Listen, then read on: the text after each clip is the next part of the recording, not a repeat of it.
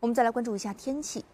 四月二十号，广东、广西、江西等地出现大到暴雨，局地特大暴雨。目前，广州、深圳等地雨势减弱，部分地区预警降级或解除。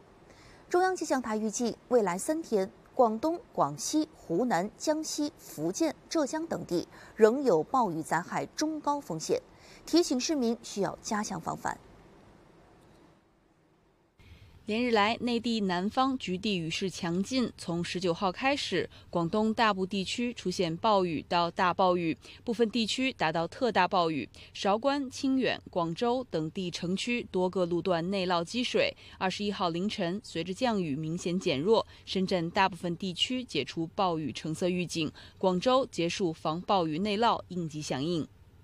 受暴雨等极端天气影响，京广高铁广深港高铁部分列车停运或晚点，京广线部分普速列车停运或折返运行。铁路方面，迅速安排部分受影响旅客及时转乘。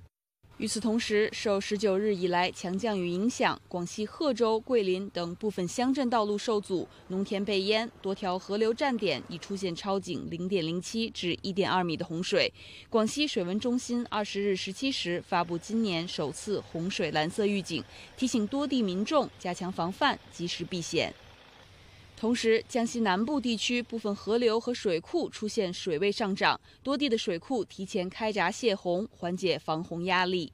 气象专家预计，未来三天，广西、广东、湖南、江西、福建等地降雨较强，部分地区累计雨量大，且伴有强对流天气，公众需高度警惕强降雨和强对流天气可能造成的不利影响，避免前往山区和地质灾害易发区。凤凰卫视综合报道。